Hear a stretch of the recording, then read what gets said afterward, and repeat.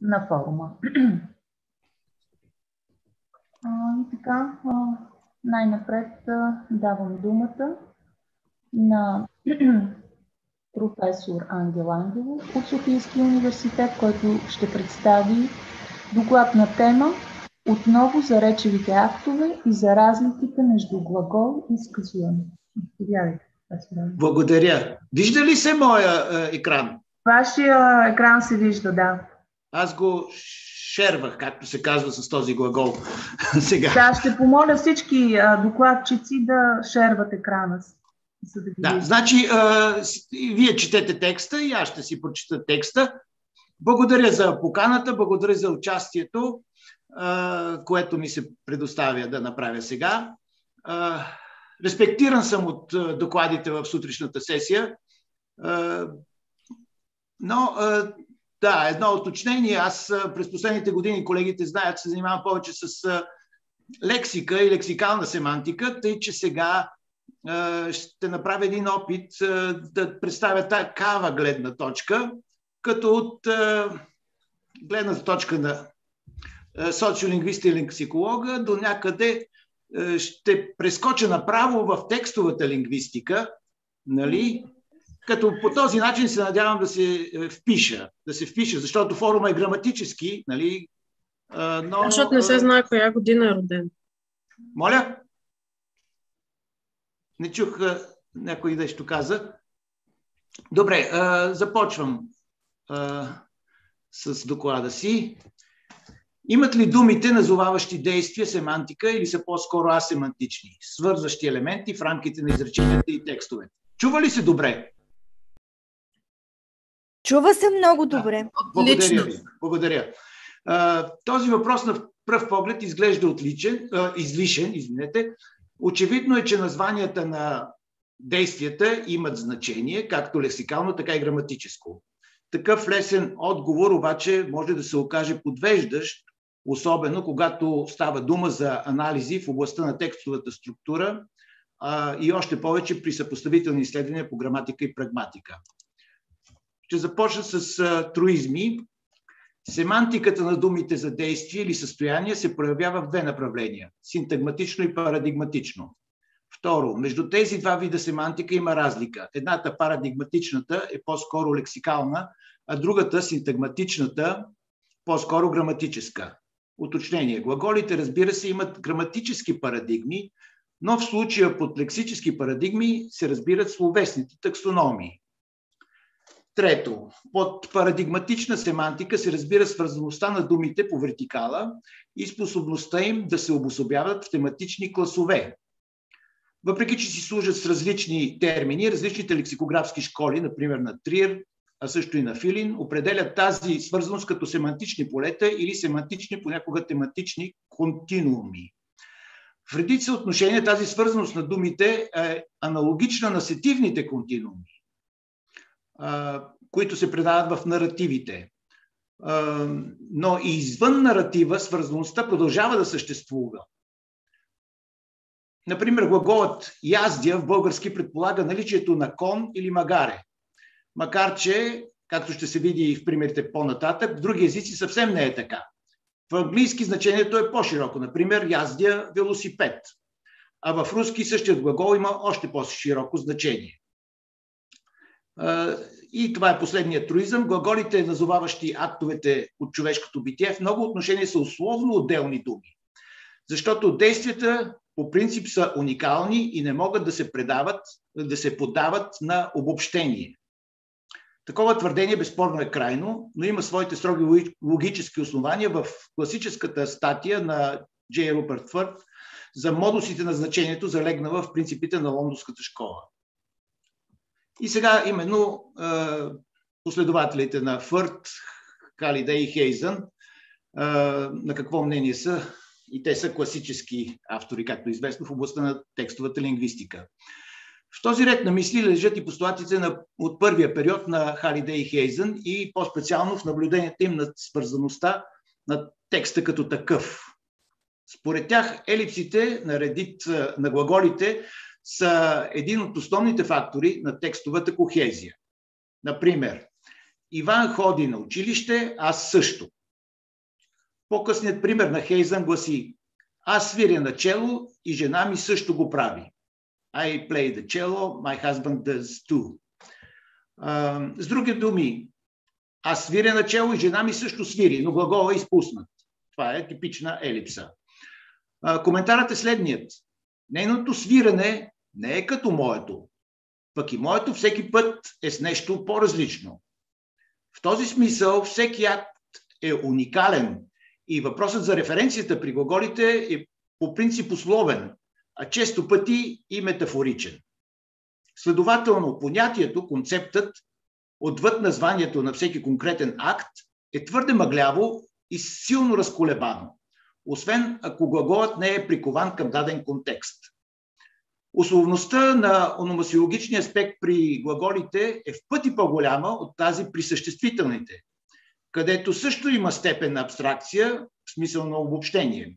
Знано е, че думата маса, в който и да е индоевропейски език, назовава различни видове маси. И все пак а, наличието на маса в дадено помещение е доста устойчив факт. И предметът маса, погледнат в различни моменти, обикновено си е все един и същият. При глагола обаче не е така. Основната семантика при глаголите е толкова голяма, че в разговорната реч и в лексикалните парадигми именно глаголите се натрупват с допълнителни значения и твърде често се десемантизират. Така, например, семантиката на глагола правя и в български, и в английски to do или to make показва точно това. По-нататък ще посоча още примери в това направление. Някои изводи обаче още сега. В този ред на мисли следва да, се разграни... да разграничим кохезия по вертикала, таксономична и кохезия по хоризонтала, синтактична, текстова или наративна. Халидей и Хейзън, следвайки своя учител Фърт, са на крачка от крайното твърдение. Глаголите не са думи, а само свързващи думи. А, това твърдение се подкрепи от следната логика. Асемантични в лексикално отношение са преди всичко глаголите съм и имам, особено когато изпълняват спомагателна функция. Тогава те са по-скоро сказуеми, а не глаголи. И сега иде важното уточнение. Българската граматична терминология добре разграничава глагол от сказуемо. Глаголът е единица на лексикално равнище, парадигматично, а сказуемото е част от изречението, т.е. от синтагмата, от наратива или от класификацията. Сказуемото обаче в пълнозначните примери се нуждае от субект, бил той в трето лице. Не е случайно, че примерите за глаголно словообразуване в речника под редакцията на Йодан Пенчев са посочени именно в трето лице. Там не се дават глаголи в първо лице. И продуктивните думи всъщност се а, а, обясняват чрез глаголи в, а, в трето лице. От глаголи в трето лице. Да обърнем внимание на факта, че действията всъщност се назовават не с глаголи, а с съществителни, най-често от глаголни. Тичам, тичане, ходя, ходене. Така таксономията на актовите, изследвана от ранния Пол Рикър, всъщност се представя от пълнозначни съществителни и тази група думи, някои биха определили като граматическо поле, а не лексикално, български язик е представен от субстантиви в среден род. В други езици обаче е на лице конверсия, която на практика изключва глаголите като граматически единици. В словообразователния речник на Пенчев това добре проличава. Там напълно съзнателно е възприят обратен принцип да се изпускат от глаголните съществителни. И сега се насочва към, повече към граматика, но не толкова с модерна граматическа терминология.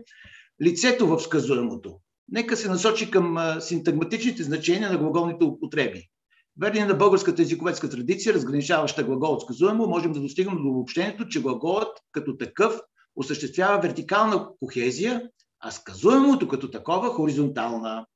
С други думи, разкриването на значенията на, глагола безспорно отвежда към таксономите, опиращи се на психични образи или понятия, така наречения ментален лексикон.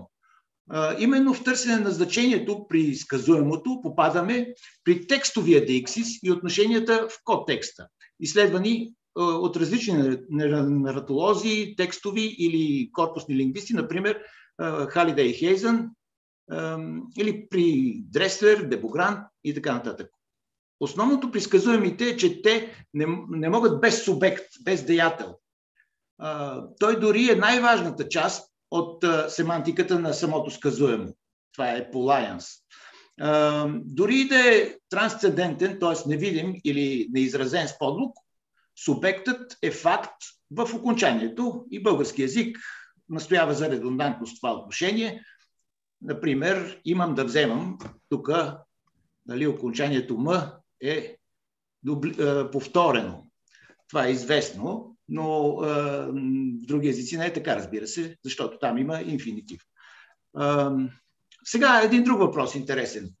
Именно за това лицето присъства ли в е, самото сказуемо, естествено, че присъства, но защо заповедите могат да са само във второ лице? Защо тук не може да се разгърне цялата граматическа парадигма? Очевидно е, че при повелителното наклонение става дума за граматикализация на социална интеракция в много по-конкретен контекст, отколкото другаде. Знае се, че слушащият е вътре в глагола, а също и говорещият. Известно е, че тъкмо това изразява граматиката на лицето. Ако даваме примери за заповед в първо лице, да стана, да се облека, да легна, то това са по-скоро граматически метафори. Това е по термина на Лайнс. Следователно, интеракцията между първото и второто лице на сказуемото предполага точно такъв интерактивен дискурс. Якобсон би нарекал това стилистично правило, но то е прагматическо правило. Не е така при употребите. Момент, че си изпуснах. Не е така при употребите на глаголите в трето лице. Тук най-често става въпрос за разкази, за научни твърдения или обобщаващи сентенции. Това е до някъде стилистика. Употребени в, трето, в третото лице, спомагателните глаголи имат по-скоро атрибутивна, а не толкова предикативна функция. Ако са употребени в трето лице, те не показват действие или последица от действие от субект върху обект, каквото е, нали, каквото е на лице, например, в изречението Иван яде ябълка. Класическият триелементен модел изречение, изразяващо разказ, с е, именителен и винителен падеж по Есперсен или Тениер. Изречението от типа Иван е ученик с копола е изречение Нексус в повечето случаи използване за научен текст и ко-класификация, обобщение, което разчита на сказуеми в трето лице, а и често пъти изгражда безлични изречения, особено при силогизмите и умозаключенията. Пет Да. Сега ще давам примери за това как протичат тези процеси в различни езици. Следователно, в повечето случаи третото лице е имперсонално, то е темата, наратива, но по-скоро строга логика би могла, би, за строга логика би могло да се говори, при по-строга логика може да се говори за четвърто лице. Изпускам това сега.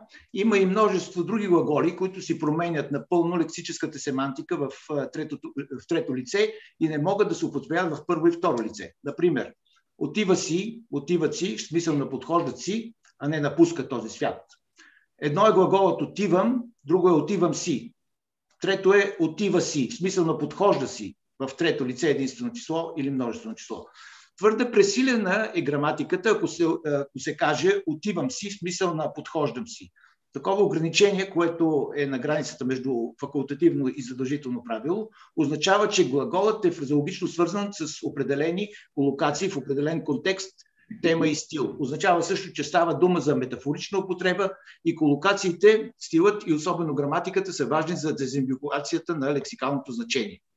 Сега тук с глагола случва се, има точно такава такъв процес на изгубване на семантиката. Това вече, за, особено в наш, наше време, е факт и много често се тълкува този глагол. Случва се, случва се. Много и беше писано за това. Случването се превръща в асемантичен глагол в български, каквито са прави, става, само в трето лице обаче. Защото едно е аз ставам, ти ставаш и така нататък. В тези случаи именно граматиката определя лексическото значение на асемантичните или многозначните глаголи. Имаме немалко примери. Още примери с а, други глаголи, които са само в трето лице с съвсем друго лексикално значение. Ето карам, а, друго е карам се. А, явява се, нали, случва се, прави се, работи се, дава се, приема се, разглежда се. Те се употребяват само в третото лице.